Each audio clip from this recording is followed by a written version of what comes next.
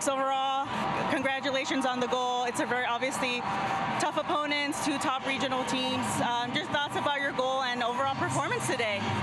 Uh, I mean, you know, we worked on a lot of things this week, how to break them down, um, how to play quick. Uh, you know, it kind of all started from a throw-in, and, and Rose did what Rose does best, and I just finished it off. But there's plenty of opportunities for us to finish it off.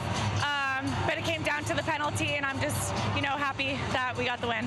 Obviously, the atmosphere is here, like obviously you're champions, but the atmosphere here has been great. They've been supporting the U.S. Any thoughts about the fans here?